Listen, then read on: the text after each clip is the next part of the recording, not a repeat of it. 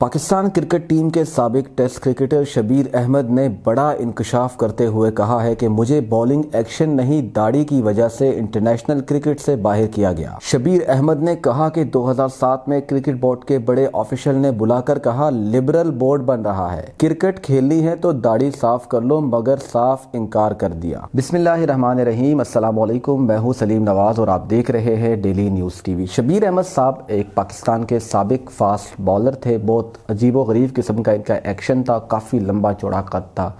सन 2007 तक Pakistan cricket team का हिस्सा रहे। शायद आप लोगों को याद होगा, लेकिन उस दौर में ये मेरे फेवरेट बॉलर हुआ करते थे, क्योंकि इंडिया के ख़िलाफ़ इन्होंने एक सीरीज़ खेली, जिसमें इनकी परफॉर्मेंस काफ़ी अच्छी आई। फिर इनके बाद आईसीसी ने इनके बॉलिंग एक्शन पर एतराज़ किया, जिसके बाद ये बॉलिंग एक्शन बार बार कोशिश करने के बावजूद टेस्ट दिए और वो टेस्ट क्लियर ना कर सके।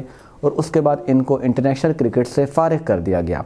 लेकिन तब से लेके अब तक ये जनाब खामोश रहे और अब इन्होंने ये इल्ज़ाम लगा दिया कि उस वक़्त की क्रिकेट बोर्ड यानी कि पाकिस्तान क्रिकेट बोर्ड पीसीबी ने मुझे कहा कि अगर आपने क्रिकेट टीम में रहना है तो आप अपनी दाढ़ी कटवा लें, दाढ़ी ख़त्म कर दें। नहीं तो हम आपका कैरियर आपका जो क्रिकेट है वो हम ख़त्म कर देंगे और इस तरह से उन्होंने मुझे बाहर निकाल दिया। लेकिन मेरा इनसे सवाल ये है कि शबीर साहिब सबसे पहली बात यह कि सन 2007 में आपको निकाला गया, उस वक़्त भी पाकिस्तान का मीडिया था। उस वक़्त से लेके अब तक तेरह साल से आप मुसलसल खामोश रहे। आपने क्यों ये बयान नहीं दिया? आप किस आसरे में थे? और अब आप ये क्यों बयान दे रहे हैं? दूसरा मेरा इनसे एक सवाल है, बल्कि इनको बताना चाहता हूँ और आप लोगों को भी बताना चाहता हूँ कि पाकिस्तान क्रिकेट तो छोड़ें। इंग्लिश क्रिकेट टीम में आपको मोइन अली नज़र आते हैं, जिनकी दाढ़ी है और आज तक उन पर उनकी क्रिकेट बोर्ड या दुनिया की किसी क्रिकेट बोर्ड या आईसीसी की जानब से किसी किस्म की कोई पाबंदी नहीं लगाएगी कि भाई आपने दाढ़ी रखी है या नहीं रखी। इसके अलावा एक और बड़ी मिसाल हाशिम आमला साहब, जिनको पाकिस्तान में बहुत पसंद किया जाता है। हाशिम आमला और मोइन अली दोनों को यहाँ पर पसंद किया जाता है। तो हाशिम आमला साउथ अफ्रीका की तरफ़ से सालों से खेल रहे हैं और दाढ़ी रख कर खेल रहे हैं।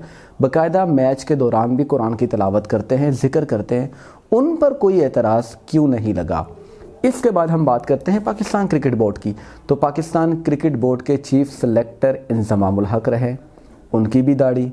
कोच जो इस वक्त पाकिस्तान क्रिकेट टीम के हैं, मिसबाहुल हक, और मिसबाहुल हक जब कैप्टन थे, तब भी उनकी दाढ़ी थी जब वो क्रिकेट खेल रहे थे। उनको क्यों नहीं निकाला गया? उन पर क्यों पाबंदियाँ नहीं लगाई गई? फिर हम बात करते हैं सकलैन मुश्ताक साहब, पाकिस्तान के एक ऑफ़ स्पिन बॉलर थे। अब सबको पता ही होगा, उनका बहुत मशहूर थे अपने ज़माने में। तो वो इंग्लैंड क्रिकेट टीम के जो कोच रहे हैं बॉलिंग के तो उनको कैसे इंग्लैंड क्रिकेट टीम ने रख दिया वहाँ पर दाढ़ी रखकर? इसी तरह मुश्ताक अहमद भी मेरे ख्याल से किसी काउंटी या किसी क्रिकेट टीम के जो कोच रहे हैं आई थिंक आजकल अफ़गानिस्तान के वो कोच है तो उनको वहाँ पर क्यों रखा गया है? तो भाई दाढ़ी आपने सिर्फ़ एक इस्तेमाल किया है, आपने आसरा लिया है, आप दोबारा मीडिया में आना चाहते थे, या आपके पास पैसा वगैरह ख़त्म हो गया जितना था, जितना गुजारा चल रहा था, सिर्फ़ आपने आकर अपने आप को शो कराना था। अब शायद आपको कहीं से इधर उधर से हमदर्दी या ऑफ़र वगैरह मिल जाए, लेकिन अब आपकी उम्र ही क्या होगी? माशाल्लाह से पैंतालीस से शायद आप अबव हो चुके हैं। तो बजाय इसके कि इस तरह के आप हथकंडे इस्तेमाल करें, पाकिस्तान क्रिकेट बोर्ड के ख़िलाफ़, पाकिस्तान के ख़िलाफ़ तो ये अच्छी बात नहीं है, आप आराम से घर बैठे कोई और कारोबार करें, बल्कि अपनी कोई अकेडमी बना लें। अगर आपको बहुत ही अपनी बॉलिंग पर यकीन है तो बच्चों को क्रिकेट सिखाएँ।